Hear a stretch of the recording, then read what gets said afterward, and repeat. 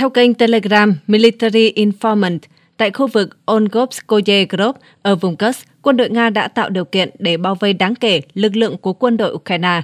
Sau khi kiểm soát các khu định cư ongobka và Kremeone, các đơn vị Ukraine đóng quân tại các khu rừng lân cận Ongobskoye Grob và Kremenovskoye đã bị cắt đứt khỏi các lực lượng chính và các tuyến đường tiếp tế. Tình hình trở nên phức tạp hơn do lực lượng vũ trang Ukraine đã mất quyền kiểm soát đường cao tốc 38K 030 nối Rins với Kodenevo và Suzha, phục vụ cho việc di chuyển quân đội và vận chuyển đạn dược. Kết quả là quân đội Ukraine tập trung trong rừng, bị tước mất các tuyến đường có tổ chức để rút lui và tiếp tế. Các nỗ lực cung cấp lương thực và đạn dược cho các đơn vị bị bao vây qua các cánh đồng đang gặp khó khăn vì pháo binh Nga kiểm soát các vùng lãnh thổ này, làm phức tạp thêm bất kỳ hành động nào của phía Ukraine. Để giải vây cho các đơn vị Ukraine bị bao vây, Bộ Tư lệnh Lực lượng Vũ trang Ukraine đã tăng cường phản công tại khu vực các khu định cư Zeleny Sliak và Novoivanivka các đơn vị của Lữ đoàn Thủy quân lục chiến số 36 và Lữ đoàn cơ giới độc lập số 47 của lực lượng vũ trang Ukraine đã tham gia vào hoạt động này. Tuy nhiên, theo các chuyên gia, những nỗ lực này vẫn chưa mang lại kết quả như mong đợi vì phía Nga vẫn kiểm soát được các vị trí chủ chốt tại khu vực này và tiếp tục kiềm chế các cuộc tấn công của lực lượng vũ trang Ukraine. Ngoài ra, Ukraine cũng đã cố gắng phản công gần khu định cư Plekovo. Các lực lượng Nga đang đẩy lùi thành công các cuộc tấn công, tiến hành các trận chiến dữ dội và dần dần tiến lên. Các hoạt động chiến đấu đặc biệt tích cực ở khu vực định cư Novoivanovka, nơi lực lượng vũ trang Nga tiếp tục tiến lên bất chấp sự kháng cự của các đơn vị Ukraine. Tại quận Goluskovsky, gần khu định cư Noviput, lữ đoàn cơ giới độc lập số 21 của Ukraine, gọi tắt là OMBR, đã buộc phải rút lui dưới những đòn tấn công của pháo binh Nga, từ bỏ một số vị trí của mình. Pháo binh từ phía Nga đang tăng cường, gây áp lực lên lực lượng Ukraine và tạo điều kiện buộc họ rút lui. Không quân Nga đang tích cực tham gia vào chiến dịch tấn công các vị trí pháo binh và pháo phản lực của Ukraine ở khu vực Sumy. Nhờ các cuộc tấn công này, Nga có thể phá hủy các điểm hòa lực chiến lược của đối phương, làm suy yếu khả năng của họ theo hướng khu vực Kursk và giúp ngăn chặn các nỗ lực phản công của lực lượng vũ trang Ukraine. Tổng thống Nga Vladimir Putin đã đề cập đến các sự kiện ở khu vực Kursk trong ngày thứ hai liên tiếp, công khai tuyên bố những thành công đáng kể của quân đội Nga trong việc bao vây lực lượng Ukraine. Ngày 24 tháng 10, ông Putin tuyên bố khoảng 2.000 binh sĩ Ukraine đã bị bao vây ở khu vực Kursk cũng theo chủ nhân Điện Kremlin, chiến dịch quét sạch lực lượng Ukraine ra khỏi lãnh thổ đang được thực hiện bằng mọi phương tiện và lực lượng cần thiết. Quân đội Nga đang hành động phối hợp và hiệu quả. Theo dân trí đưa tin, một nguồn tin trong cơ quan an ninh Nga nói với hãng tin TASS hôm 25 tháng 10, đối phương không ngừng nỗ lực giải cứu lực lượng còn sót lại ở Selidovo, đẩy nhanh tốc độ rút chạy khỏi thành phố. Họ đi ra theo từng nhóm dọc theo các con đường bị pháo kích, mất đi một số lượng đáng kể lực lượng ở đó. Trước đó vào ngày 21 tháng 10, cơ quan an ninh Nga xác nhận lực lượng Ukraine ở thành phố Selidovo hay còn gọi là Selidove đã bị phong tỏa vì tất cả con đường dẫn ra khỏi thành phố này đều nằm dưới sự kiểm soát hoàn toàn của quân đội Nga. Theo TASS, cơ quan an ninh Nga tuyên bố thành phố Selidovo gần như đã bị bao vây hoàn toàn. Viện Nghiên cứu Chiến tranh ISVK tại Mỹ xác nhận những bước tiến chiến thuật đáng kể của Nga trong và xung quanh thành phố Selidovo trong những ngày gần đây. Nga được dự báo có thể sắp giành quyền kiểm soát thành phố quan trọng này ở miền đông Ukraine. Tuy nhiên, ISVK cũng lưu ý rằng việc Moscow tập trung vào nỗ lực kiểm soát Selidovo đã khiến Nga phải đánh đổi bằng khả năng duy trì một cuộc tấn công quan trọng vào thành phố Pokrovsk, vốn được xem là ưu tiên hàng đầu của Moscow trong khu vực. Các video được ghi lại cho thấy lực lượng Nga đã tiến về phía đông bắc và phía đông Selidovo, áp sát trung tâm thành phố. Những bước tiến này có thể sớm buộc quân Ukraine phải rút lui hoàn toàn khỏi khu vực để tránh bị mắc kẹt.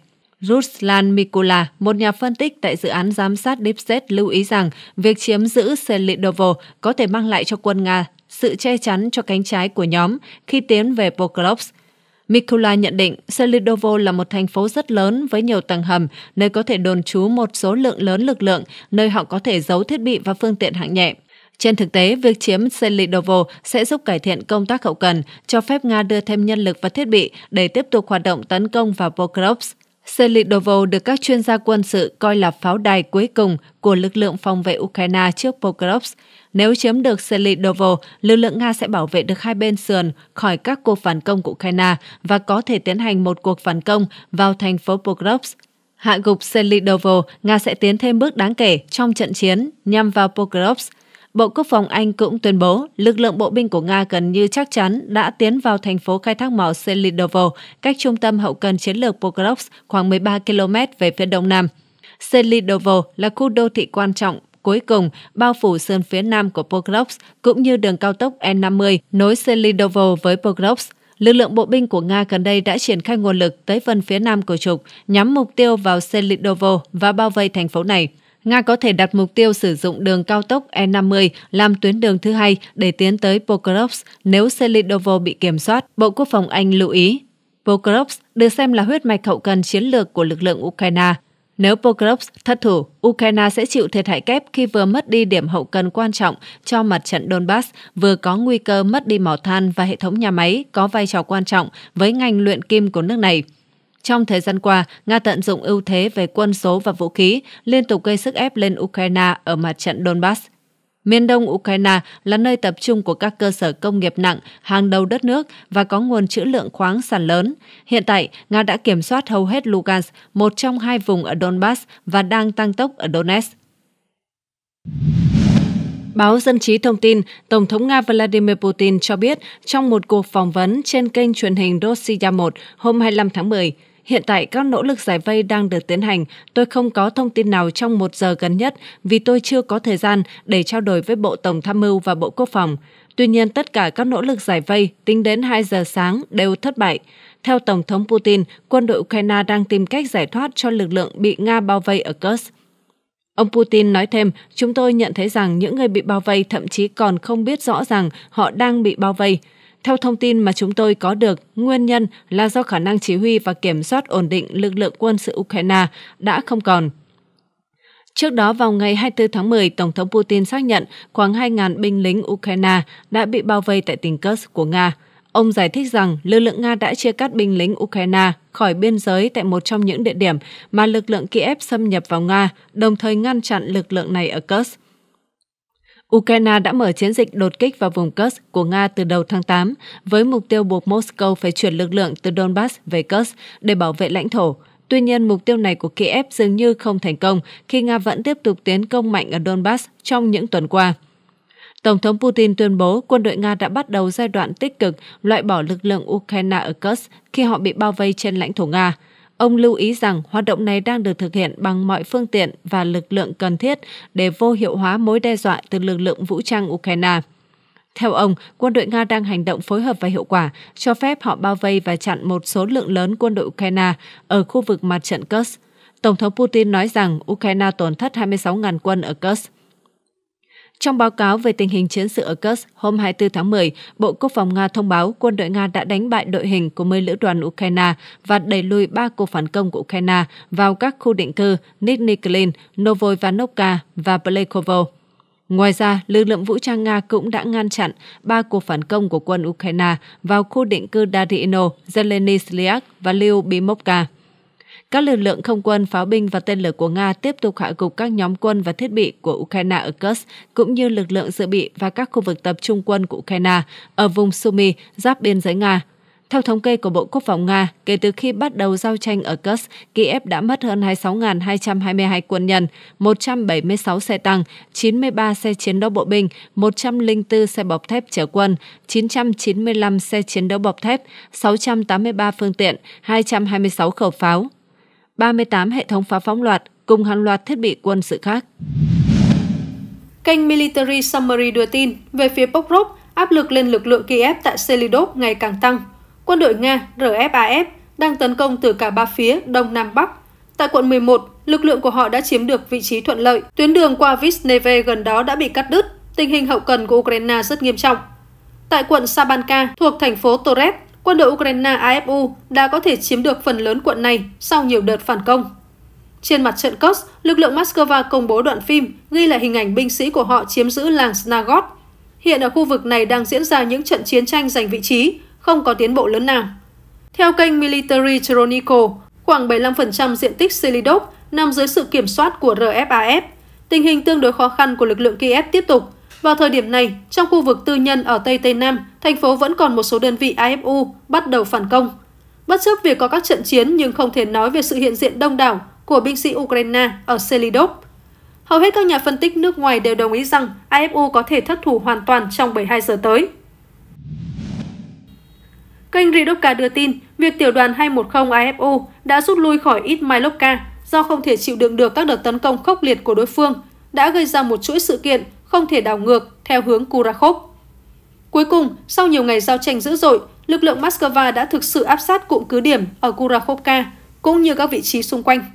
Đồng thời, Ismailovka thất thủ đã cắt một vết thương khác ở hàng phòng ngự AFU ở Goniak. Vết thương vốn đã dỉ máu này càng nghiêm trọng hơn. Theo dữ liệu mới nhất, giao tranh đã diễn ra ở khu vực trung tâm thành phố. Kênh Riba đưa tin, tại mặt trận Kursk, các cuộc giao tranh dữ dội vẫn tiếp diễn ở nhiều khu vực khác nhau. Ở quận Gluskovo, AFU đã cố gắng củng cố. Một xe chiến đấu bộ binh CV-90 do Thụy Điển cung cấp đã bị nổ tung khi cán phải một quả mìn chống tăng gần đường sắt ở khu vực làng Noviput. Lực lượng Kiev không thể tiến xa hơn ở khu vực này, trong khi các đơn vị đổ bộ đường không của họ bị thiệt hại nặng. Tại quận Korenevo, các trận chiến đang diễn ra ở khu vực Lyubimovka và Zeleny Sliak lân cận. Ở quận Suza, cấu hình của tuyến đầu dọc theo biên giới hai nước đã được làm rõ. Đánh giá theo cảnh quay do phía Kiev công bố, làng Darino đang bị các đội hình Ukraine chiếm giữ. Cảnh quay về cuộc đổ bộ của lực lượng Moscow ở vành đai rừng phía tây bắc khu định cư đã xuất hiện, trong đó ghi lại hình ảnh một xe chiến đấu bộ binh của họ đã bị nổ tung do một quả mìn chống tăng trong quá trình rút lui. Việc RFAF không kiểm soát được ngôi làng cũng được xác nhận bởi dữ liệu hàng ngày của Bộ Quốc phòng Nga khi báo cáo về cuộc pháo kích các vị trí đối phương ở Darino. Đánh giá theo video, sự kiện này xảy ra không quá 2 đến 3 ngày trước.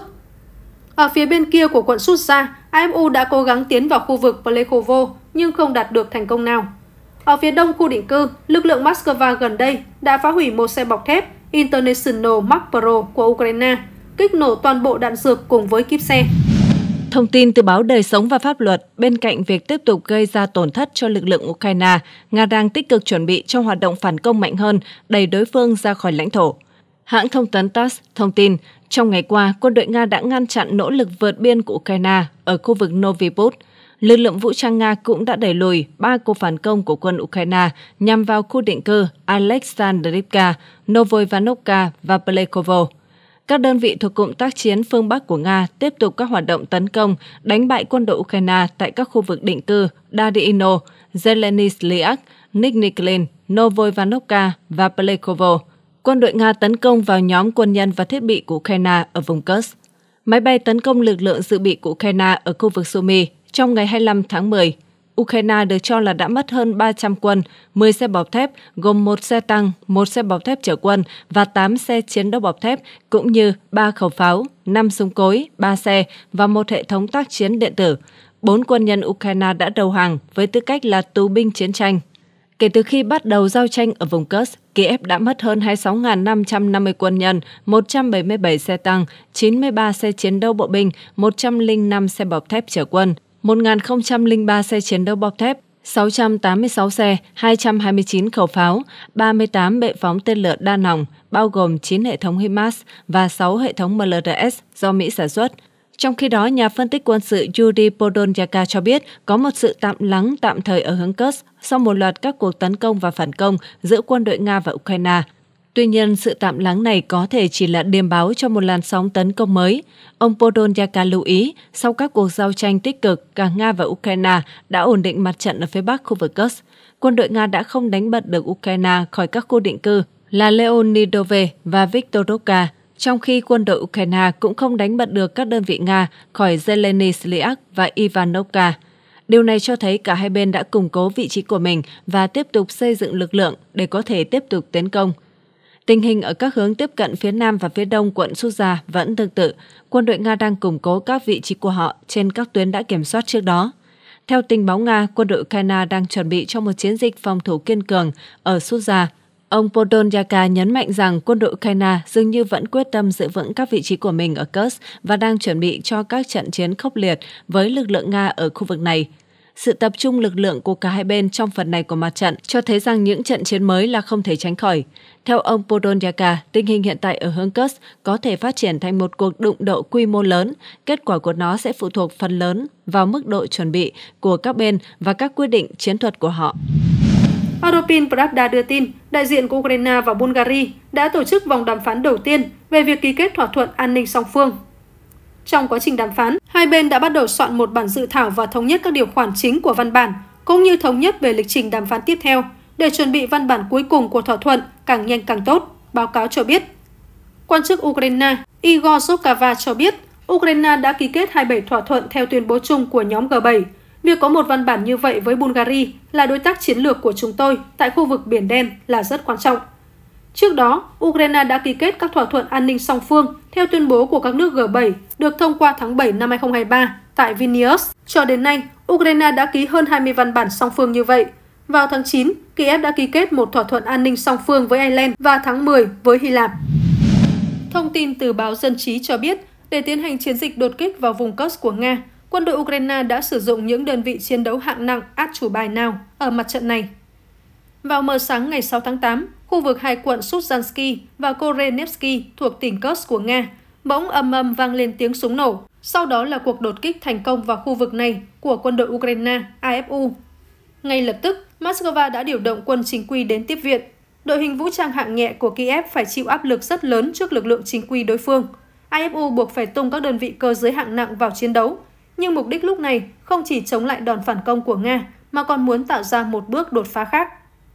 Hơn một tháng trước, khi nói về cuộc tấn công Kursk của Kiev, giới quan sát đã đưa ra nhận xét khách quan rằng nếu quân đội Ukraine tiến khi thuận lợi, dừng khi khó khăn và rút lui nhanh chóng, thì có thể tận dụng được lợi thế và cũng không ảnh hưởng nhiều đến toàn bộ cục diện chiến trường như hiện nay. Nhưng miếng mồi Kursk hấp dẫn và Kiev không muốn buông, thậm chí họ còn tính toán là vật trao đổi ngang giá trong các cuộc đàm phán tiếp theo với Moscow. Kể từ đó, họ tiếp tục tăng quân và tung vào đây phần lớn lực lượng cơ động mà họ có như một ván bài chơi tắt tay. Tuy nhiên, quân đội Nga RFAF cũng tăng cường quân chiến đấu hạng nặng và hỏa lực, khiến cuộc tấn công của quân đội Ukraine bị đình trệ và bị đẩy lùi. Hiện ở mặt trận cốt, Bộ Tổng tham mưu Ukraine đã tung vào đây các đơn vị chiến đấu tinh nhuệ hạng nặng sau. Lữ đoàn xe tăng số 1 Đây là một trong hai lữ đoàn xe tăng mà AFU đã chuẩn bị trước chiến tranh khi bắt đầu xung đột nổ ra. Lữ đoàn xe tăng 1 đóng quân ở Chernigov sau đó, đơn vị được chuyển đến mặt trận Zaporizhia trong cuộc phản công mùa hè năm 2023. Dù vậy, trên thực tế, Lữ đoàn xe tăng 1 chỉ làm lực lượng dự bị cơ động. Tuy thành tích chiến đấu không nổi bật, nhưng hiện tại, đơn vị được điều động đến mặt trận cốt có thể nói là trở lại chiến trường xưa. Điều đặc biệt thú vị là lữ đoàn được huấn luyện để tiếp nhận, sử dụng xe tăng chiến đấu chủ lực Leopard 2A4.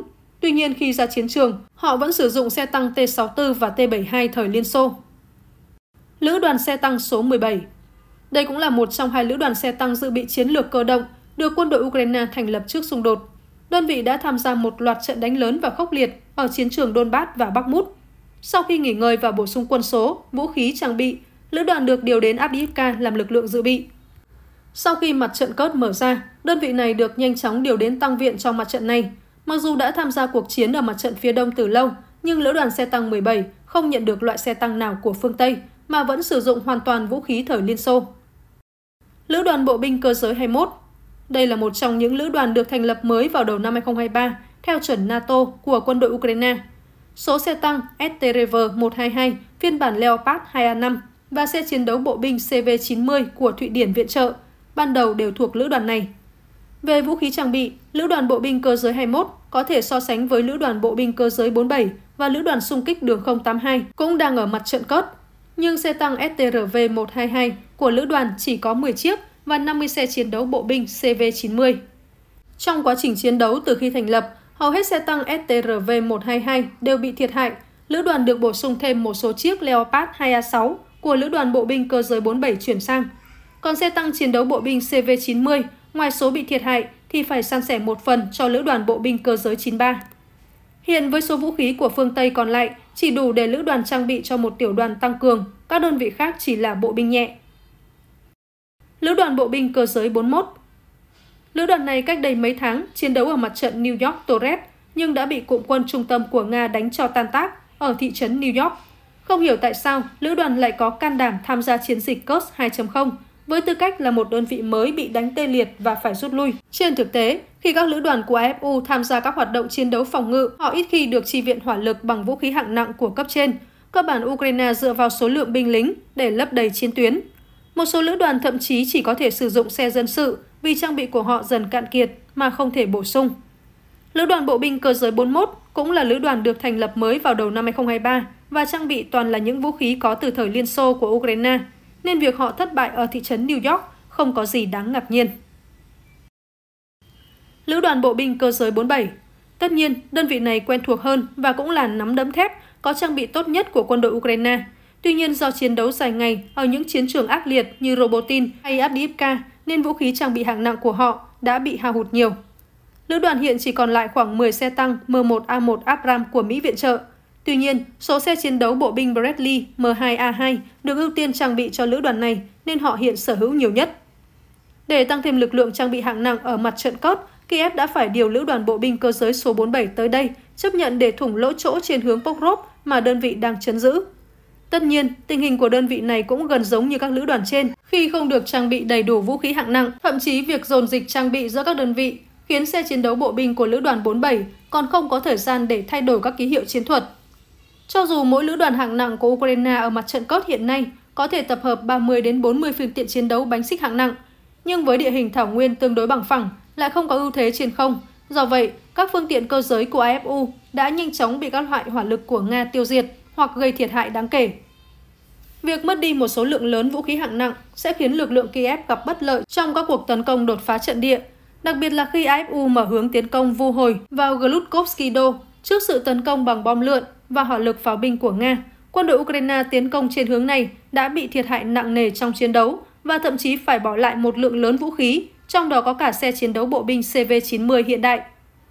Việc quân đội Ukraine đưa các lữ đoàn cơ giới hạng nặng tới biên giới Nga không hẳn là một ý tưởng hay khi công tác bảo đảm hậu cần trong điều kiện bị hỏa lực đối phương đánh phá ác liệt lại càng thêm khó khăn. Ưu thế trên không cũng là một vấn đề. Nếu không làm tốt, sẽ trở thành mục tiêu cho lực lượng Moscow. Thông tin từ báo VinExpress, UAV Lancet của Nga lao bệ phóng của tổ hợp IRIT, ý tài phòng không hiếm hoi của Ukraine, khiến nó bốc cháy. Kênh Telegram Itnanka của Nga ngày 25 tháng 10 công bố video cho thấy máy bay không người lái UAV của nước này theo dõi một bệ phóng tên lửa phòng không Irite tại khu vực gần làng Velikaya, Kochomka, tỉnh Dnipro. Kênh Itnanka cho biết những tổ hợp này giờ trở nên hiếm hoi, kíp lái cũng rất sợ bị tên lửa Iskander tập kích nên họ dừng lại nhiều lần khi tới vị trí triển khai. Họ dừng lại ở bìa rừng, giả vờ triển khai, sau đó tới chỗ khác và lặp lại hành động này. Khi tới điểm dừng thứ ba, kíp vận hành Ukraine quyết định triển khai xe phóng và UAV Lancet lao tới chỗ đó. Video của UAV trinh sát ghi lại cho thấy xe phóng bốc cháy sau đòn tập kích trong thời gian tương đối lâu. Theo Itnanka, binh sĩ Ukraine vì lý do nào đó không dập lửa ngay. Có lẽ họ sợ đòn tập kích thứ hai xảy ra sau đó. Ngọn lửa thiêu rụi toàn bộ thiết bị điện tử trên hệ thống này. Ukraine chưa bình luận về thông tin trên. Bộ Quốc phòng Nga ngày 25 tháng 10 thông báo cánh quân Donetsk phá hủy một bệ phóng Irite của Ukraine, song không nêu địa điểm cụ thể.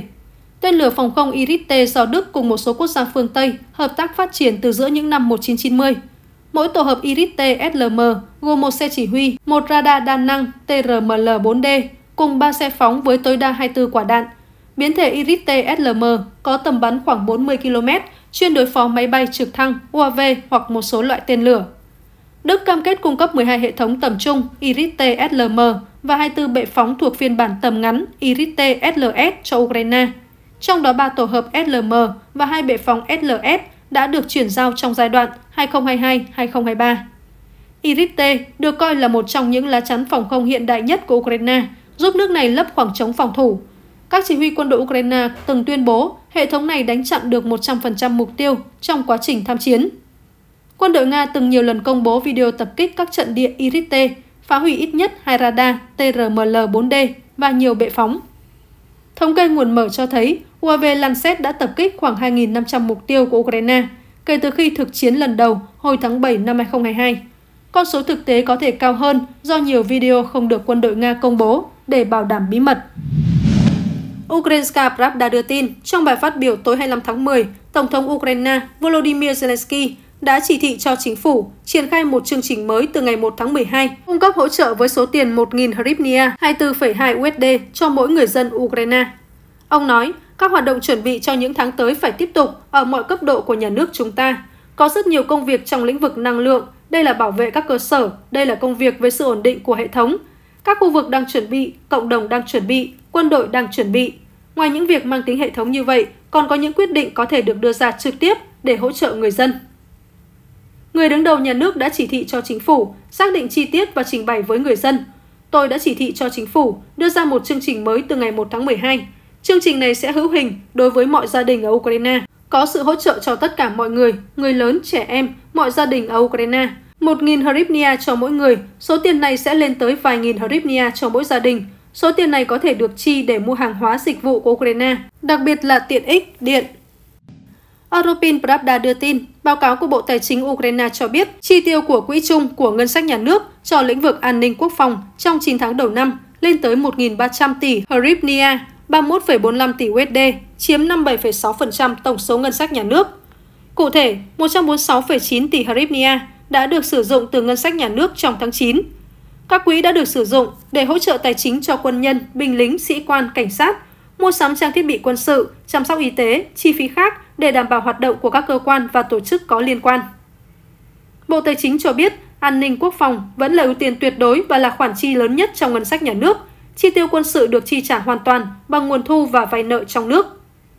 Kể từ đầu năm 2024, Bộ Tài chính Ukraine đã bán trái phiếu quân sự trị giá hơn 300 tỷ UAH, tương đương 7,26 tỷ USD. Số tiền này đã được chuyển vào ngân sách nhà nước. Theo kênh Riba, Moscow đã tiến hành các cuộc tấn công kết hợp bằng tên lửa và UAV vào các mục tiêu của đối phương ở nhiều khu vực khác nhau trên lãnh thổ Ukraine. Đổi lại, Kiev phóng UAV qua một số khu vực của Nga, tuy nhiên tất cả mục tiêu đều bị bắn hạ. Theo hướng Liman, RFAF phát triển từ Novosadov đã phá vỡ các tuyến phòng thủ của lực lượng Kiev, xâm nhập khu định cư Terni từ phía Bắc. Về phía Pokrov, lực lượng Moscow đang chiến đấu ở khu vực Selidovo, đồng thời cũng đang dọn sạch lãnh thổ của mỏ Novogrodskaya số 1 phần 3 trên các tuyến tiếp cận phía Bắc đến Novogrodovka. Ukrainska Pravda đưa tin, báo cáo tối 25 tháng 10 của Bộ Tổng tham mưu Ukraine đã ghi nhận 142 cuộc giao tranh ở mặt trận, hầu hết là theo hướng Pokrovsky.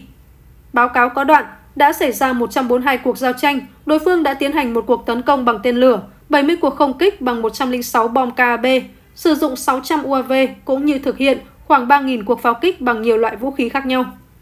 Bộ Tổng tham mưu Ukraine xác nhận AFU đã cơ bản đẩy lùi các đợt xung phong của Nga ở Kharkov, Kupiang, Sivert, Kramatorsk, Torres, Kurakovsky, Demovsky và Dnieper. Đối phương đang tấn công dữ dội theo hướng Pokrov. Tại đây trong ngày, họ đã thực hiện 43 cuộc tấn công. Không quân Ukraine thông báo tối 25 tháng 10, Nga đã phóng UAV tấn công từ hướng Bắc. Vào lúc 19 giờ 12, báo động không kích được ban bố ở Sumy. Từ 19 giờ 51 đến 23 giờ 38, UAV Nga hoạt động ở Sumy, Chernihiv, Kiev, Zitomir, Poltava. Sau nửa đêm, báo động không kích được ban bố ở Kiev, Poltava, Sumy. Người đứng đầu cơ quan quản lý Kiev, Sergei Popko, báo cáo rằng phòng không Ukraine đang hoạt động ở Kiev, cảnh báo không kích đã được ban bố ở thủ đô và một số khu vực khác. Ông nói, phòng không đang hoạt động ở Kiev, hãy ở trong hầm trú ẩn cho đến khi báo động không kích kết thúc.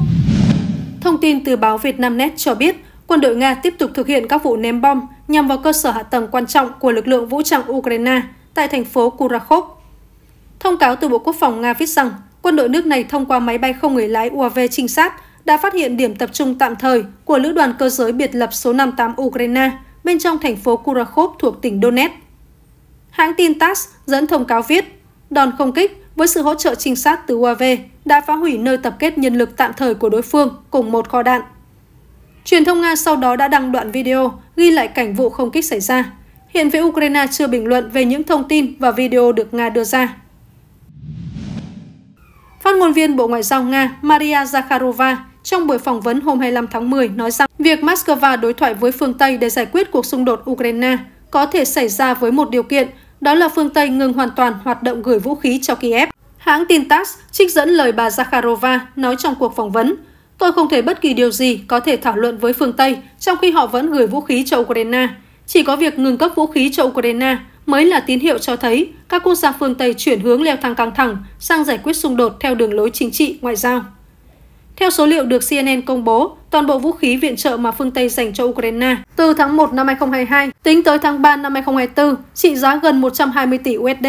Trong đó, Mỹ và Liên minh châu Âu EU chiếm lần lượt là 41% và 43%. Thông tin từ báo Vietnamnet, giới chức cấp cao Israel dạng sáng ngày 26 tháng 10 khẳng định quân đội nước này sẽ không tấn công vào những mục tiêu nhạy cảm ở Iran như các cơ sở hạt nhân. Thời báo Israel dẫn lời một quan chức cấp cao giấu tên trong chính quyền Tel Aviv nói rằng cuộc tấn công do lực lượng phòng vệ Israel IDF thực hiện nhằm vào Iran vào sáng ngày 26 tháng 10 chỉ tập trung vào những mục tiêu quân sự – Người này nói Israel không tấn công vào các cơ sở hạt nhân hay mỏ dầu của Iran, mà chỉ tập trung vào nhiều mục tiêu quân sự. Chúng tôi nhằm vào những mục tiêu đã đe dọa Israel trong quá khứ và có thể làm điều tương tự như vậy trong tương lai. Trong khi đó, truyền thông Iran xác nhận các vụ nổ lớn gần thủ đô Tehran liên quan tới hoạt động tác chiến của các đơn vị phòng không. Hãng tin IRNA cho biết tình hình ở hai sân bay là Mehrabad và Imam Khomeini bình thường và hoạt động tại những nơi đó vẫn diễn ra theo lịch trình. Ngoài ra, chúng tôi không ghi nhận bất kỳ vụ nổ hay hỏa hoạn nào xảy ra ở nhà máy lọc dầu Tehran. Theo trang Al Arabiya, cuộc tấn công lần này của Tel Aviv được thực hiện với mục đích đáp trả đợt tấn công tên lửa được quân đội Iran thực hiện nhằm vào lãnh thổ Israel đầu tháng này.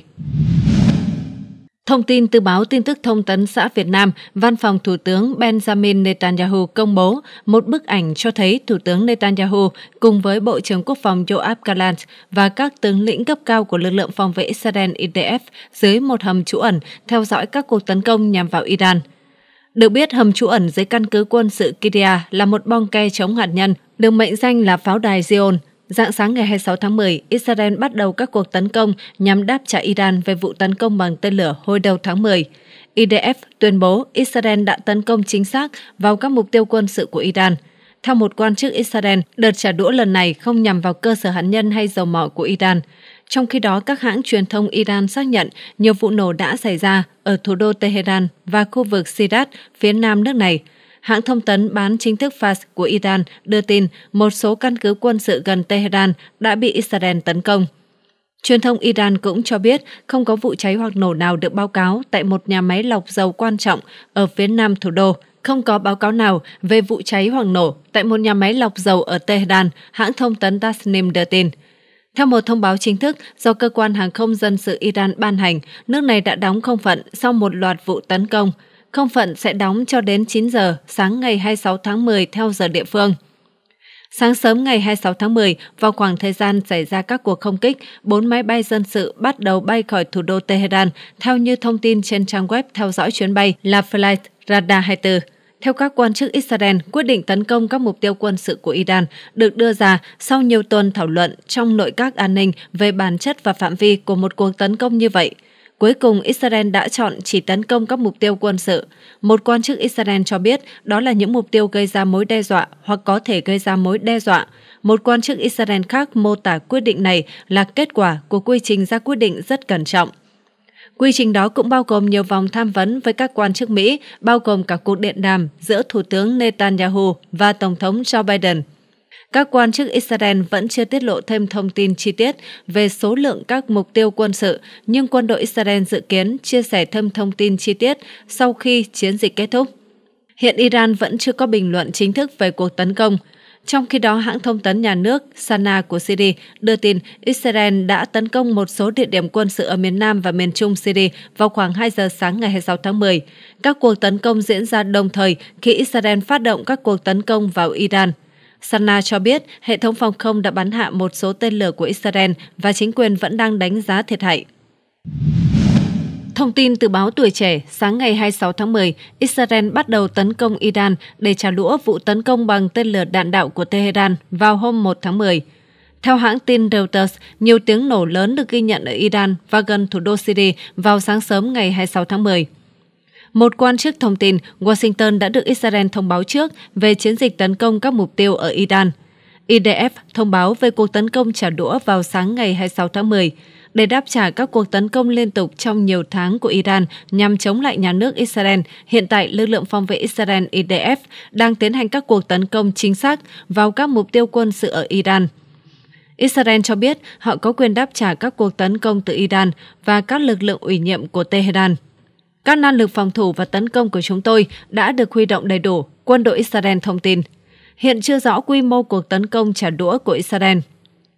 Đài NBC News và ABC News dẫn lời một quan chức Israel thông tin các mục tiêu mà họ nhắm tới không bao gồm cơ sở hạt nhân và hạ tầng năng lượng. Truyền hình nhà nước Iran tường thuật ít nhất 6 vụ nổ được ghi nhận quanh thủ đô Tehran. Truyền hình nhà nước Iran đưa tin một số vụ nổ lớn đã được ghi nhận xung quanh thủ đô Tehran. Người ta cũng nghe thấy tiếng nổ ở thành phố Karachi gần đó. Hãng tin Tasnim cho biết chưa có báo cáo nào về việc nghe thấy tiếng tên lửa hoặc máy bay trên bầu trời Tehran cho đến nay. Các quan chức tình báo Iran cho rằng nguồn gốc của các vụ nổ lớn có thể là do hệ thống phòng không của Iran kích hoạt. Tình hình căng thẳng ở Trung Đông đã trở nên nóng hơn sau khi Iran phóng khoảng 200 tên lửa các loại, bao gồm cả tên lửa siêu vượt âm, vào ba căn cứ xung quanh Tel Aviv và những nơi khác của Israel hôm 1 tháng 10, khẳng định 90% đã đánh trúng mục tiêu.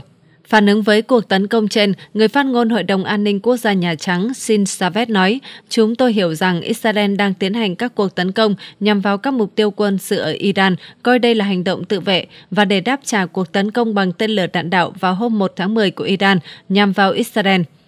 Đây là cuộc tấn công trực tiếp thứ hai của Iran vào Israel sau cuộc tấn công hồi tháng 4 năm nay. Thủ tướng Israel Benjamin Netanyahu sau đó nói rằng Iran đã phạm sai lầm lớn và sẽ phải trả giá.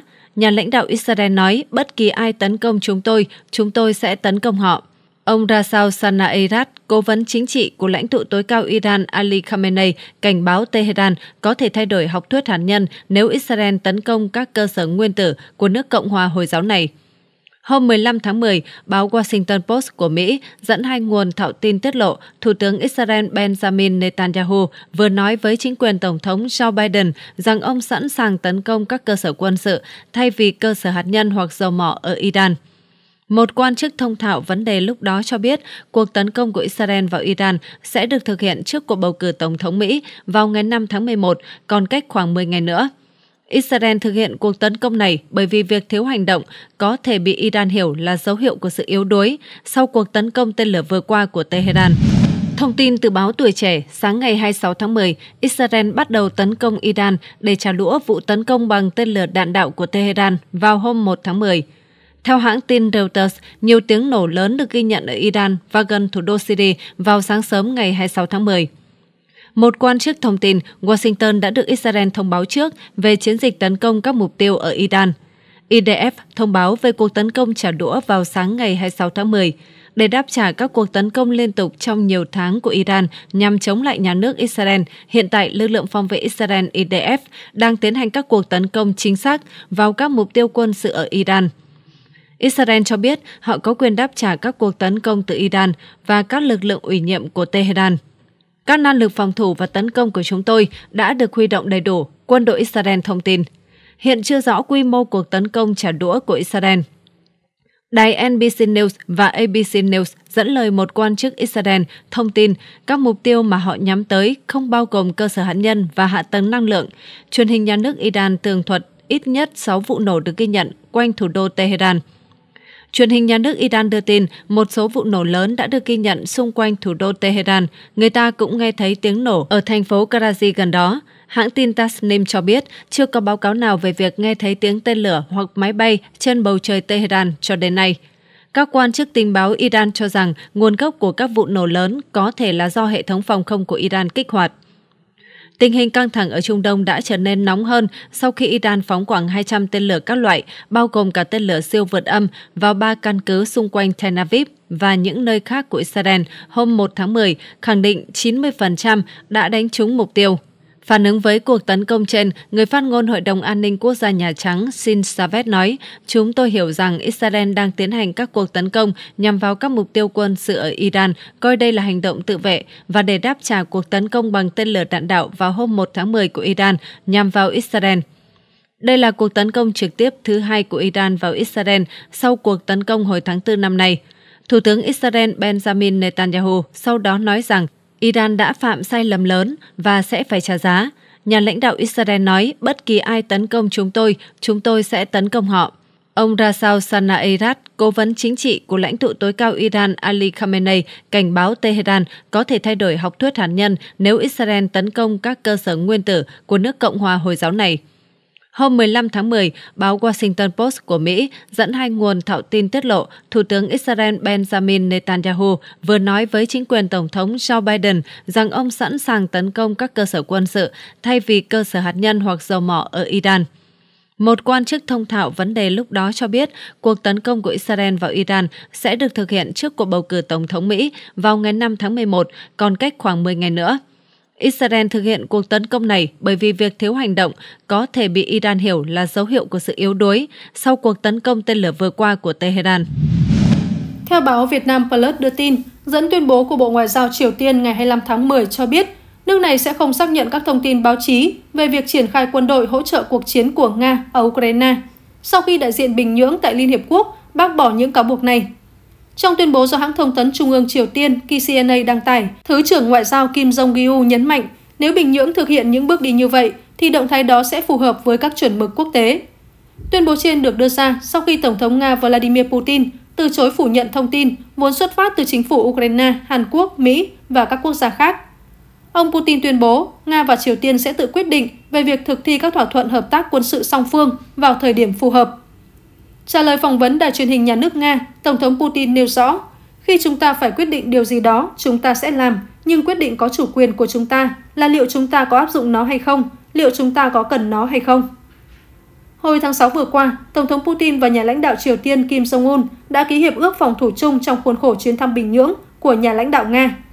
Trước đó, ngày 24 tháng 10, thông báo trên kênh Telegram, cơ quan tình báo quân sự Ukraine cho hay các đơn vị Triều Tiên đầu tiên được huấn luyện tại Nga đã được triển khai tại khu vực Kursk, một khu vực biên giới của Nga đang bị quân đội Ukraine xâm nhập.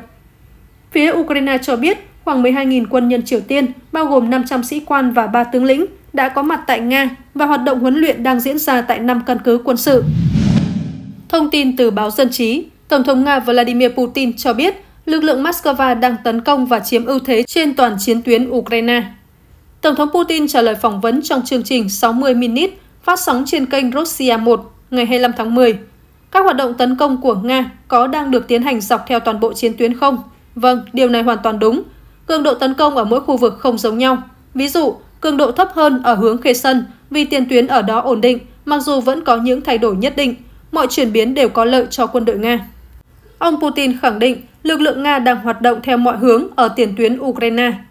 Ông nói, ở các nhóm quân phía Nam và phía Đông, các binh sĩ đang chiến đấu, tích lũy kinh nghiệm và kỹ năng sử dụng thiết bị hiện đại, cũng như phản ứng nhanh khi đối phương sử dụng cùng thiết bị. Chủ nhân Điện Kremlin cho biết thêm, kinh nghiệm thu được và tiềm năng ngày càng tăng của ngành công nghiệp quốc phòng Nga, bao gồm cả những đổi mới đang được phát triển theo sáng kiến riêng, cũng tạo điều kiện thuận lợi cho quân đội Nga tiến công. Tổng thống Putin nhấn mạnh, nhìn chung, quân đội Nga đang đạt được tiến bộ trên khắp chiến tuyến kéo dài, trong khi Kiev không đạt được gì, song cả Kiev và các nước phương Tây đều không sẵn sàng chấm dứt chiến sự. Đề cập đến chiến dịch của Ukraine tấn công vào tỉnh Kut, Tổng thống Putin nói khoảng 2.000 binh sĩ trong các đơn vị của Kiev đã bị bao vây, cô lập và dường như không biết tình hình của họ tồi tệ đến mức nào. Ông Putin cho hay, chúng tôi nhận thấy rằng những người bị bao vây thậm chí còn không biết rõ rằng họ đang bị bao vây. Theo thông tin mà chúng tôi có được, nguyên nhân là do khả năng chỉ huy và kiểm soát ổn định lực lượng quân sự của Ukraine đã không còn. Avia Pro dẫn thông tin từ kênh Telegram Military Informant nói rằng quân đội Nga đang siết vòng vây lực lượng Ukraine ở khu vực Ongobskoye Grob của tỉnh Kursk. Quân đội Ukraine bị bao vây sau khi mất kiểm soát đường cao tốc 38K030 nối Rinska với Korenevo và Sutja, tuyến tiếp viện binh sĩ và đạn dược chính. Kết quả là binh sĩ Ukraine tập trung trong một khu rừng, bị cô lập và cũng không thể rút lui. Nỗ lực của Ukraine nhằm giải vây cho các đơn vị của mình gặp trở ngại khi Nga kiểm soát hỏa lực khu vực này. Kiev hiện chưa bình luận về thông tin trên. Trong khi đó, cơ quan tình báo quân sự Ukraine cáo buộc các đơn vị quân sự của Triều Tiên được huấn luyện tại Nga đã được triển khai đến Kursk. Theo nguồn tin này, khoảng 12.000 quân nhân Triều Tiên, trong đó có 500 sĩ quan, 3 tướng lĩnh, đã có mặt tại Nga và tham gia huấn luyện tại 5 căn cứ. Cả Nga và Triều Tiên đều bác bỏ cáo buộc, nhưng mặt khác khẳng định kịch bản đó nếu xảy ra cũng không vi phạm luật pháp quốc tế. Thứ trưởng Ngoại giao Triều Tiên phụ trách các vấn đề về Nga, Kim Jong-gyu cho biết ngày 25 tháng 10, nếu thực sự xảy ra điều mà truyền thông quốc tế đang nói đến, tôi nghĩ đó sẽ là hành động tuân thủ các quy định của luật pháp quốc tế. Hạ viện Nga trong tuần này đã thông qua Hiệp ước Đối tác Chiến lược Toàn diện Nga-Triều Tiên. Một trong số các điều khoản của Hiệp ước là hai bên đồng ý hỗ trợ quân sự lẫn nhau trong trường hợp một bên bị tấn công. Báo Dân chí đưa tin, trong thông báo cập nhật tình hình giao tranh ở Kursk hôm 25 tháng 10, Bộ Quốc phòng Nga cho biết lực lượng Moscow đã tấn công vào các nhóm quân nhân và thiết bị của Ukraine ở Kursk, khiến đối phương tổn thất hơn 300 người và 4 binh lính Ukraine đầu hàng trong ngày qua. Bộ Quốc phòng Nga tuyên bố quân đội Nga đã ngăn chặn nỗ lực của Ukraine nhằm đột kích khu vực biên giới ở Noviput. Lực lượng vũ trang Nga cũng đẩy lùi ba cuộc phản công của Ukraine hướng tới khu định cư Alexandria, Novoivanovka và Plekovo. Nhóm tác chiến phía Bắc của Nga tiếp tục hoạt động tấn công ở Kursk, đánh bại các đơn vị Ukraine ở các khu định cư Darino, Zeleny Nikniklin, Novoivanovka và Plekovo. Máy bay chiến đấu Nga đã tấn công lực lượng dự bị Ukraine ở tỉnh Sumy, khu vực giáp Nga và là nơi Kiev triển khai quân qua biên giới vào lãnh thổ Nga. Theo thống kê của Bộ Quốc phòng Nga, kể từ khi bắt đầu giao tranh ở Kursk, Ukraine đã mất hơn 26.550 quân nhân, 177 xe tăng, 93 xe chiến đấu bộ binh, 105 xe bọc thép chở quân, 1.003 xe chiến đấu bọc thép, 686 phương tiện, 229 khẩu pháo, 38 hệ thống pháo phóng loạt MLRS, bao gồm 9 hệ thống HIMARS và 6 hệ thống MLRS do Mỹ sản xuất. Ukraine đã phát động cuộc tấn công xuyên biên giới vào vùng Kursk hôm 6 tháng 8. Ban đầu Ukraine tuyên bố kiểm soát khoảng 1.300 km vuông lãnh thổ Nga, nhưng gần đây lực lượng Kiev phải đối mặt với sức ép ngày càng tăng khi Moscow đưa quân tiếp viện tới Kursk. Tổng tư lệnh quân đội Ukraine Oleksandr Sisky tuyên bố quân đội Ukraine tiếp tục các hoạt động tích cực theo hướng Kursk, phá hủy tiềm năng chiến đấu của đối phương trong tháng thứ ba liên tiếp. Tổng thống Nga Vladimir Putin vào ngày 25 tháng 10 nói rằng các đơn vị quân đội Ukraine tại Kursk dường như không nhận thức được tình hình nghiêm trọng ở mặt trận này. Ông Putin tuyên bố có tới 2.000 quân Ukraine đã bị bao vây trên lãnh thổ Nga. Ông chủ điện Kremlin nói, chúng tôi thấy rằng những người bị bao vây hoàn toàn không nhận thức được rằng họ đang bị bao vây. Tình báo Nga cho rằng năng lực chỉ huy và kiểm soát ổn định của quân đội đối phương đã bị mất. Tổng thống Putin cho rằng lực lượng Ukraine đã cố gắng đột phá nhưng không thành công. Theo ông Putin, quân đội Nga đang đạt được tiến triển trên khắp tiền tuyến xung đột, trong khi Kiev không đạt được bất kỳ tiến triển nào. Ông Putin nhấn mạnh cả Ukraine và các nước phương Tây đều không muốn chấm dứt giao tranh, vì vậy quân đội Nga phải tập trung vào nhiệm vụ. Ukraine đã mở chiến dịch đột kích vào vùng Kursk của Nga từ đầu tháng 8 với mục tiêu buộc Moscow phải chuyển lực lượng từ Donbass về Kursk để bảo vệ lãnh thổ. Tuy nhiên, mục tiêu này của Kiev dường như là không thành công khi Nga vẫn tiếp tục tiến công mạnh ở Donbass trong những tuần qua. Thiếu tướng Abdi Alaudinov, Phó Tổng cục trưởng Tổng cục Quân sự Chính trị của lực lượng vũ trang Nga, chỉ huy lực lượng đặc nhiệm Akhmat cũng tuyên bố Moscow đã giành lại một nửa lãnh thổ ở Kursk mà Ukraine kiểm soát từ ngày 6 tháng 8 tới nay. Theo ông Alaudinov, các cuộc tấn công của Nga ở Kursk trong thời gian qua đã buộc Ukraine phải rút quân ở nhiều khu vực. Thông tin từ báo Vietnamnet, ông Trump cho rằng những chỉ trích cá nhân ngày càng khoa trương của bà Harris chứng tỏ ứng viên Dân Chủ đang dần đánh mất lợi thế. Theo AT, trong ngày 24 tháng 10, ứng viên Tổng thống Cộng hòa Donald Trump đã lên tiếng đáp trả những chỉ trích liên quan tới chủ nghĩa phát xít của Phó Tổng thống Mỹ Kamala Harris. Ông Trump cho biết Phó Tổng thống Harris nhận ra bà ấy đang đánh mất lợi thế một cách nhanh chóng, đặc biệt là sau khi giành lấy cuộc bầu cử từ ông Biden – vì lẽ đó, những lời công kích của bà ấy ngày càng khoa trương hơn, thậm chí gọi tôi là Adolf Hitler hay bất cứ thứ gì mà bà ấy nghĩ ra. Ứng viên Cộng hòa nhấn mạnh bà Harris là mối đe dọa với nền dân chủ và không phù hợp trở thành Tổng thống Mỹ. Ông Trump nói thêm, kết quả thăm dò của bà ấy thể hiện rõ điều này. Trước đó, bà Harris đã chỉ trích ông Trump là người theo chủ nghĩa phát xít, từng bày tỏ sự ngưỡng mộ đối với Adolf Hitler trong thời gian ở Nhà Trắng – Phó Tổng thống Mỹ được cho là đã lấy thông tin này từ cựu tránh văn phòng của ông Trump. Bà Harris lên án sự ngưỡng mộ của ông Trump với Hitler là vô cùng đáng lo ngại và nguy hiểm, dường như đây là con người thật của ông ta. Chiến dịch tranh cử của ông Trump sau đó đã lên tiếng phản bác tuyên bố của bà Harris gọi đây là những lời nói dối trắng trợn và không đúng sự thật. Theo kết quả khảo sát toàn quốc mới nhất của Wall Street Journal, ông Trump đang nhận được sự ủng hộ của 47% cử tri, dẫn trước 2% so với bà Harris 45%. Thông tin từ báo tin tức thông tấn xã Việt Nam hôm 24 tháng 10, tờ The Times của Anh đưa tin Israel đã buộc phải hoãn cuộc tấn công trả đũa tiềm tàng vào Iran sau khi thông tin chi tiết về kế hoạch bị dò dỉ từ Mỹ.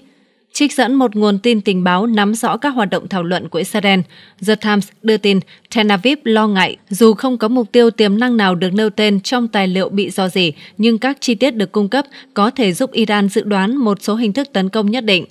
Theo nguồn tin, Israel đã thiết lập kế hoạch thay thế nhưng cần phải tập duyệt trước khi tiến hành. Nguồn tin hé lộ vụ do gì các tài liệu của Mỹ đã làm chậm cuộc tấn công do cần phải thay đổi một số chiến lược và thành phần. Sẽ có một cuộc trả đũa nhưng mất nhiều thời gian hơn dự kiến. Được đánh dấu là tuyệt mật, các tài liệu này lần đầu xuất hiện trực tuyến vào hôm 18 tháng 10 trên ứng dụng nhắn tin Telegram và nhanh chóng lan truyền trên các kênh phổ biến với người Iran. Ngày 22 tháng 10, Cục Điều tra Liên bang Mỹ FBI cho biết giới chức đang điều tra việc công bố trái phép các tài liệu tuyệt mật về các kế hoạch mới nhất của Israel cho cuộc tấn công trả đũa tiềm tàng. Phát biểu với các phóng viên tại Rome, Bộ trưởng Quốc phòng Mỹ Lloyd Austin cho biết không có bằng chứng cho thấy bất kỳ nhân viên nào của văn phòng Bộ trưởng Quốc phòng đang bị điều tra về vụ dò dỉ. Về phần mình, Tehran đã chuẩn bị cho cuộc trả đũa của Tel Aviv – Trước đó hôm 1 tháng 10, Iran đã khai hỏa khoảng 200 tên lửa đạn đạo nhằm vào Israel. Cuộc tấn công đã khiến hầu hết người dân phải vào hầm trú bom. Một người đàn ông Palestine ở bờ Tây thiệt mạng với nhiều thiệt hại ở các khu dân cư và căn cứ quân sự. Lực lượng phòng vệ Israel IDF cho biết cuộc tấn công không gây tác động nào. Iran cho biết cuộc tấn công bằng tên lửa này là để đáp trả các vụ ám sát thủ lĩnh Hezbollah ở Liban và một vụ nổ khiến thủ lĩnh chính trị Hamas Ismail Haniyeh thiệt mạng vào tháng 7 ở Tehran. Israel chưa nhận trách nhiệm về vụ ám sát ông Haniyeh. Ngày 23 tháng 10, phát biểu trong cuộc gặp các phi công và binh sĩ Israel tại căn cứ không quân Hasarim, Bộ trưởng Quốc phòng Israel Yoav Gallant tuyên bố nước này vẫn sẽ không từ bỏ nỗ lực đáp trả Iran. Ông Gallant nói, sau khi chúng ta tấn công Iran, mọi người sẽ hiểu được những gì các bạn đang làm trong nỗ lực chuẩn bị và huấn luyện. Bất kỳ ai từng mơ mộng đánh bại và tấn công chúng ta vào một năm trước đều phải trả giá đắt và họ sẽ không còn có thể mơ mộng nữa. Trong nhiều năm qua, Israel cũng đã tổ chức một số cuộc tập trận lớn, mô phỏng các cuộc tấn công tầm xa vào Iran để chuẩn bị cho một cuộc đối đầu có thể xảy ra với Tehran. Đầu tháng này, Thủ tướng Israel Benjamin Netanyahu đã nói với Tổng thống Mỹ Joe Biden rằng hành động trả đũa của Israel sẽ không bao gồm các cuộc tấn công vào các địa điểm phi quân sự. Trước đây, Israel được cho là đang cân nhắc các cuộc tấn công vào cơ sở hạ tầng dầu mỏ hoặc là các địa điểm hạt nhân của Iran. Cả hai đều bị Mỹ phản đối vì khả năng leo thang chiến sự, bao gồm cả các cuộc trả đũa của Iran nhằm vào cơ sở hạ tầng dân sự ở Israel hoặc các quốc gia khu vực khác liên kết với phương Tây. Tuy nhiên, Israel ám chỉ rằng nước này có thể mở rộng hành động trả đũa các cuộc tấn công bằng tên lửa của Iran sau khi một thiết bị bay không người lái của Hezbollah nhắm vào nhà riêng của Thủ tướng Netanyahu ở Caesarea hôm 19 tháng 10. Ông Netanyahu cáo buộc đây là nỗ lực ám sát của các điệp viên của Iran. Europin Pravda đưa tin, Bộ trưởng Quốc phòng Litva Laurinas Kasiunas cho biết ít nhất ba quốc gia thành viên NATO sẽ triển khai các hệ thống phòng không trên lãnh thổ Litva vào năm tới như một phần của đợt triển khai luân phiên. Bộ trưởng Kasiunas trước đó đã nói rằng các đồng minh châu Âu của NATO nên triển khai lực lượng ở Litva và Hà Lan sẽ là một trong những quốc gia đó. Ông nói tôi có thể nói là ba, thậm chí có thể nhiều hơn. Khi được hỏi liệu Thụy Điển có nằm trong số những quốc gia đó hay không, Bộ trưởng trả lời, tôi không thể xác nhận điều đó vào lúc này. Năm ngoái, NATO đã nhất trí về một mô hình phòng không luân phiên ở khu vực biển Baltic. Mục đích là để các hệ thống phòng không của Liên minh luân phiên qua các nước Baltic gần như liên tục. Chúng ta hãy nhớ lại rằng vào mùa hè năm nay, hệ thống Patriot từ Hà Lan đã được triển khai tại Litva tại căn cứ sân bay Siauliai như một phần của cuộc tập trận Balkon 24. Vào thời điểm đó, ông Kasiunas đề xuất rằng Hà Lan thường xuyên triển khai hệ thống phòng không Patriot đến quốc gia Baltic này như một phần của cuộc tập trận. Thủ tướng Đức Olaf Scholz trong một cuộc phỏng vấn với ZDF đã bác bỏ ý tưởng mời Ukraine gia nhập NATO. Đây là điểm đầu tiên trong kế hoạch chiến thắng của Tổng thống Ukraine Volodymyr Zelensky. Ông Chol nhắc lại rằng NATO đã đưa ra quyết định về triển vọng gia nhập của Ukraine tại các hội nghị thượng đỉnh ở Vilnius và Washington và theo ông chưa cần đưa ra bất kỳ quyết định mới nào ngoài quyết định này. Một quốc gia đang có chiến tranh không thể trở thành thành viên của NATO. Mọi người đều biết điều này, không có bất kỳ sự bất đồng nào về vấn đề này và NATO thường nhanh chóng liên kết lời mời với tư cách thành viên, ông nói thêm. Thủ tướng Đức tiếp tục nói rằng chiến dịch của Nga ở Ukraine đòi hỏi phải có hành động trường mực, một mặt đảm bảo sự ủng hộ cho Kiev, mặt khác đảm bảo rằng nó không biến thành một cuộc chiến giữa Moscow và NATO. Ông John nhấn mạnh đây là nơi tôi rất rõ ràng về lập trường của mình và tôi sẽ không thay đổi nó. Trước đó, vào ngày 17 tháng 10 tại Brussels, Tổng thống Zelensky đã nói rằng ông hy vọng sẽ thuyết phục được Thủ tướng Scholz về vũ khí tầm xa quan trọng đối với Ukraine, cũng như sự ủng hộ cho lời mời của nước này vào NATO. Ông Scholz khi bình luận về kế hoạch chiến thắng được trình bày, một trong những điểm trong đó là mời Ukraine vào NATO, lưu ý rằng có những quyết định mà ông đưa ra và chúng sẽ không thay đổi.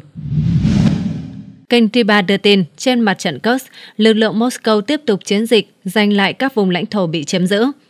Ở quận Gluskovo, như trước đây, giao tranh vẫn tiếp diễn ở khu vực làng Novi Theo những tuyên bố táo bạo nhất, AFU đã rút lui về phía bên kia biên giới, tuy nhiên vẫn chưa có thông tin hoặc cảnh quay kiểm soát khách quan nào từ hiện trường.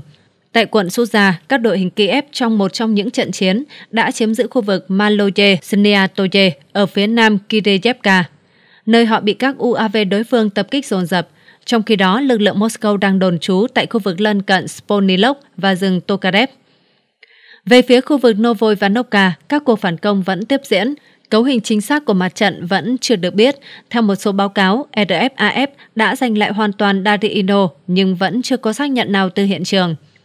Ở Sumy, máy bay Nga đã tấn công các mục tiêu AFU ở Morisia, Belovody và Loknia, khu vực này vẫn tiếp tục bị mất điện khẩn cấp. Theo kênh Emchero Nicholas, có nhiều báo cáo giải rác rằng tại khu vực Kursk, RFAF đã tiến tới biên giới với Ukraine và chiếm làng Darino Thông qua nó và làng Nikolaevo Darino liền kề, cũng như là Sverlikovo, AFU đã từng bước đột kích lãnh thổ Liên bang Nga. Nếu thông tin này được xác nhận, thì lực lượng vũ trang Ukraine sẽ phải khẩn trương quyết định xem phải làm gì, cố gắng giữ vững nơi họ đã đột phá, hoặc khẩn cấp khôi phục các tuyến hậu phương và hậu cần.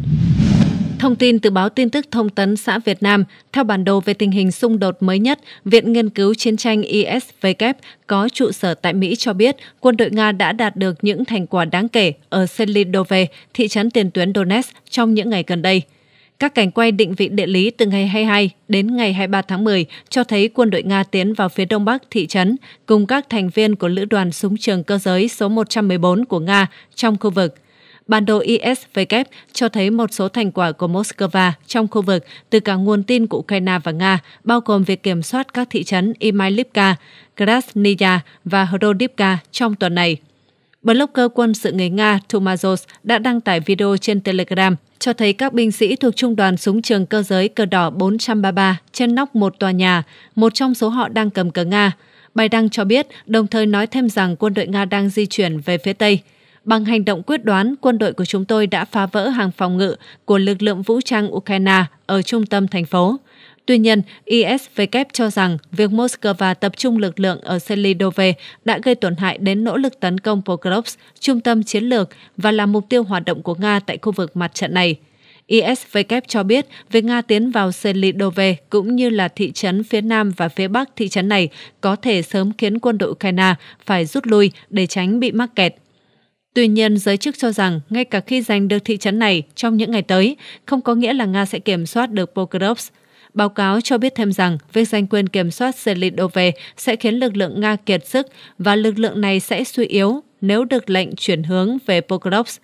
Nhà quan sát quân sự Ukraine Konstantin Masovets nhận định trên Telegram rằng trong khi một số lượng lớn quân đội Nga cam kết tham gia mặt trận Pokrovsk thì các lực lượng này lại xa lầy trong các cuộc tấn công vào Selidove một nhà báo quân sự nổi tiếng của Nga cũng đồng tình với phân tích này, đồng thời nói rằng nỗ lực giành Pokrovsk của Moscow đang bị trì hoãn. Trong khi đó, vào ngày 24 tháng 10, Bộ Tổng tham mưu lực lượng vũ trang Ukraine cho biết các lực lượng của nước này đã đẩy lùi 38 cuộc tấn công của Nga vào mặt trận Pokrovsk và 148 cuộc giao tranh đã diễn ra trong ngày qua. Trong một bài đăng trên Facebook, quân đội Ukraine cho biết tình hình trên chiến trường vẫn còn khó khăn. Đối phương đang tận dụng lợi thế về nhân lực và trang thiết bị để tấn công liên tục vào các vị trí của chúng tôi. Trang tin Ukrainska Pravda dẫn nguồn quân đội Ukraine cho hay quân phòng thủ Ukraine đang kiên trì chống lại áp lực của Nga và gây ra tổn thất đáng kể cho đối phương. Về phần mình, Bộ Quốc phòng Nga cùng ngày đưa tin lực lượng Nga đã tấn công các sân bay quân sự của Ukraine và gây thiệt hại cho nhân lực và thiết bị quân sự của đối phương tại 139 khu vực trong ngày qua trong chiến dịch quân sự đặc biệt tại Ukraine. Bộ tuyên bố máy bay tác chiến chiến thuật, thiết bị bay không người lái tấn công, lực lượng tên lửa và pháo binh của các nhóm lực lượng Nga đã tấn công cơ sở hạ tầng sân bay và tập trung nhân lực và thiết bị quân sự của đối phương tại 139 địa điểm.